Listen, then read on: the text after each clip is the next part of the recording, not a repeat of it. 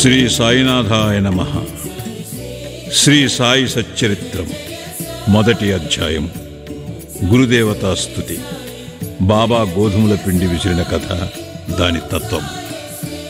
పూర్వ సంప్రదాయానుసారము హెమాట్ పంతు శ్రీ సాయి సచ్చరిత్ర గ్రంథమును గురుదేవతా స్థుతితో ప్రారంభించుచున్నారు. ప్రప్రథమమున విఘ్నేశ్వరుని స్మరించుచు ఆటంకములను తొలగించి ఈ గ్రంథము జయప్రదముగా సాగునట్లు వేడుకొనుచు శ్రీ సాయినాథుడే సాక్షాత్ శ్రీ గణేశుడని చెప్పుచున్నారు. పిమ్మట శ్రీ సరస్వతీదేవిని స్మరించి ఆమె తనని గ్రంథరచనకు పురుగొల్పినందులకు నమస్కరించుచు శ్రీ సాయియే సరస్వతీ స్వరూపులై తమ కథను తామే గానము చేయుచున్నారనియు చెప్పుచున్నారు.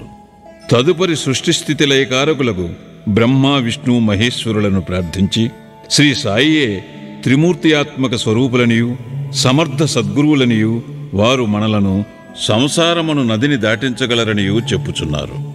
తరువాత తమ గృహదేవతయగు నారాయణాదినాథునకు నమస్కరించి వారు కొంకణ దేశములో వెలసిరనియు ఆ భూమి పరశురాముడు సముద్రము నుండి సంపాదించినదనియు చెప్పుచు వారి వంశమూల పురుషుని స్తోత్రము చేసిరి.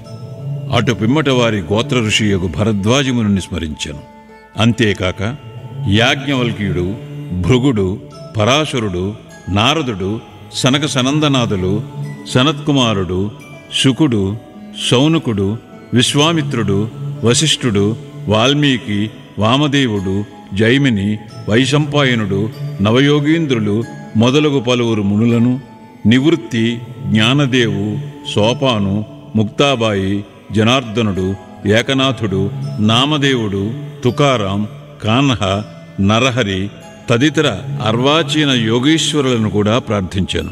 తరువాత తన పితామహుడైన సదాశివునకు తండ్రి రఘునాథునకు కన్న తల్లికి చిన్నతనము నుండి పెంచి పెద్ద చేసిన మేనత్తకు తన జ్యేష్ఠ సోదరునకు నమస్కరించాను. అటుపైన పాఠకులకు నమస్కరించి తన గ్రంథమును ఏకాగ్ర చిత్తముతో పారాయణ చేయుడని ప్రార్థించాను.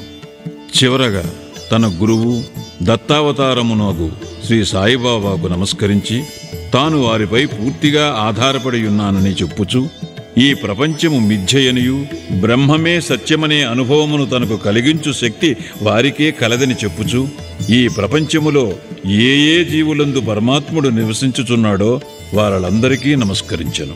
పరాశరుడు వ్యాసుడు శాండిల్యుడు మొదలుగా గలవారులు చెప్పిన భక్తి మార్గములను పొగడి వర్ణించిన పిమ్మట హెమాట్ పంతు ఈ క్రింది కథను చెప్పుటకు ప్రారంభించను. పంతొమ్మిది వందల పదవ సంవత్సరం తదుపరి ఒకనాటి ఉదయమున నేను సిరిడి మసీదులోనున్న శ్రీ సాయిబాబా దర్శనము కొరకు వెళ్ళి తిని అప్పుడు జరిగిన ఈ క్రింది విషయమును గమనించి మిక్కిలి ఆశ్చర్యపడి తిని బాబా ముఖ ప్రక్షాళనము గావించుకొని గోధుమలు విసురుటకు సంసిద్ధుడకు చుండెను వారు నేలపై గోనెపరిచి దానిపై తిరుగులు ఉంచిరి చేటలో కొన్ని గోధుమలు పోసుకొని కఫనీ చేతులు పైకి మడచి పిరికిడి చొప్పున గోధుమలు వేయిచు విసరసాగిరి. అది చూచి నాలో నేను ఈ గోధుమ పిండిని బాబా ఏమి చేయును? ఆయనెందులకు గోధుమలు విసరచుండెను? వారు భిక్షాటనముచే జీవించువారే. వారికి గోధుమ పిండితోనేమి నిమిత్తము. వారికి పిండి నిల్వ చేయవలసిన అగత్యము లేదే అని చింతించి తిని. అచ్చటకు వచ్చిన మరికొంతమంది కూడా ఇట్లే ఆశ్చర్యమగ్నులయ్యి కాని మాలో ఎవరికినీ కూడా బాబాను ప్రశ్నించుటకు ధైర్యము చాలకుండెను. ఈ సంగతి వెంటనే గ్రామములో వ్యాపించాను.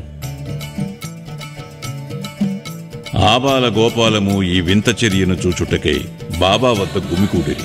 నలుగురు స్త్రీలు ఎటులనో సాహసించి మసీదు మెట్లెక్కి బాబాను ప్రక్కకు జరిపి వారే విసురుట ప్రారంభించింది వారు తిరుగుల పిడిని చేత పట్టుకుని బాబా లీలలను పాడుచూ విసురుట సాగించేది ఈ చర్యలను చూచి బాబాకు కోపం వచ్చాను కాని వారి ప్రేమకు భక్తికి మిగుల సంతసించి చిరునవ్వు నవ్విరి.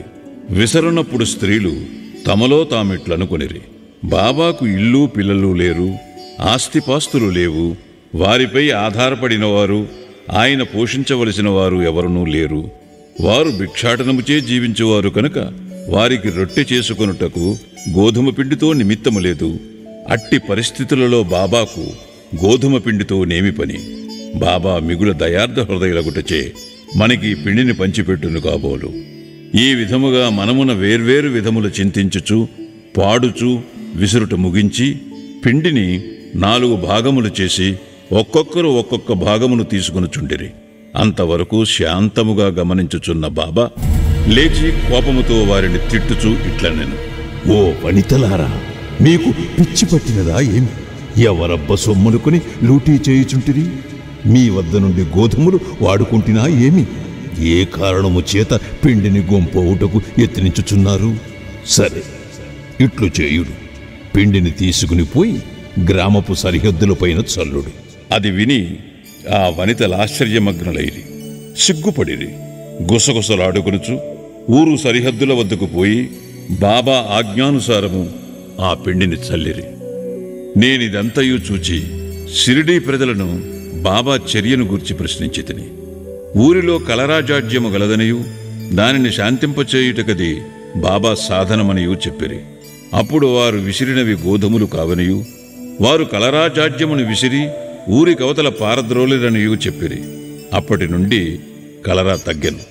గ్రామములోని ప్రజలందరూ ఆనందించిరి. ఇదంతయు వినిన నాకు మిక్కిలి సంతసము కలిగెను. దీని గూఢార్థమును తెలుసుకున్న కుతూహలము కలిగెను. గోధుమ పిండికి కలరా జాడ్యమునకు సంబంధమేమి? ఈ రెండింటికి గల కార్యకారణ సంబంధమేమి? ఒకటి ఇంకొక దాని నెట్లు శాంతింపచేసెను. ఇదంతయు అగోచరముగా తోచెను. అందుచే నేను తప్పక ఈ విషయమును గూర్చి వ్రాసి బాబా లీలలను మనసారా పాడుకొనవలెనని నిశ్చయించుకుంటేని. ఈ లీలను చూచి ఇట్లు భావించుకొని హృదయానందపూరితులనైతిని. ఈ ప్రకారముగా బాబా సచ్చరిత్రను వ్రాయుటకు ప్రేరేపింపబడితిని. అట్లే బాబా కృపా కటాక్షములచే ఆశీర్వాదములచే గ్రంథము నిర్విఘ్నముగను జయప్రదముగను పూర్తి అయినది. తిరుగలి విసురుట దాని వేదాంత తత్వము. తిరుగలి విసురుటను గూర్చి సిరిడి ప్రజలనుకునే రీతియే కాక దానిలో వేదాంత భావము కూడా కలదు. సాయిబాబా సిరిడియందు సుమారు అరవై ఏండ్లు నివసించాను. ఈ కాలమంతయు వారు తిరుగలి విసురుచునే ఉండిరి. నిత్యము వారు విసురున్నది గోధుమలు కావు. భక్తుల యొక్క పాపములు మనోవిచారములు మొదలగునవి. తిరుగలి యొక్క క్రిందరాయి కర్మ మీదిరాయి భక్తి చేతితో పట్టుకుని పిడి జ్ఞానం జ్ఞానోదయమునకు గాని ఆత్మ సాక్షాత్కారమునకు గాని మొట్టమొదట పాపములను కోరికలను తుడిచివేయవలేను. అటు పిమ్మట త్రిగుణరాహిత్యము పొందవలెను. అహంకారమును చంపుకొనవలెను. ఇది వినగనే కబీరు కథ జ్ఞప్తికి వచ్చును. ఒకనాడు స్త్రీ యుగత తిరుగలిలో ధాన్యమును వేసి విసరుచుండెను. దానిని చూచి కబీరు ఏడ్వసాగాను. నిపతి నిరంజనుడను ఒక సాధు పొంగవుడు అది చూచి కారణమడుగగా కబీరు ఇట్లు జవాబిచ్చాను. నేను కూడా ఆ ధాన్యం వలె ప్రపంచమును తిరగలలో విసరబడేదను కదా? దానికి నిపతి నిరంజనుడిట్లు బదులు చెప్పాను. భయము లేదు. తిరుగుల పిడిని గట్టిగా పట్టుకు. అనగా జ్ఞానమును విడువకు. నేనెట్లు గట్టిగా పట్టియున్నాను నీవును అట్లే చేయు మనస్సును కేంద్రీకరించు. దూరముగా పూనీయకు. అంతరాత్మను చూచుటకు దృష్టిని అంతర్ముఖముగా నిమ్ము. నీవు తప్పక రక్షింపబడదేవు. మొదటి అధ్యాయము సంపూర్ణము. सद्गुरु श्री साईनाथात्मनमस्तु। शुभम भवतु।